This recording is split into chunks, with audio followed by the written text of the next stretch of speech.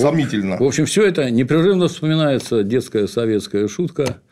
Японская народная певица Тояма Токанава А то мимо. исполнит песню «А тому ли я дала-то», что по-русски значит «сомнения». Ну, известный японский футболист Накатика Явьебука.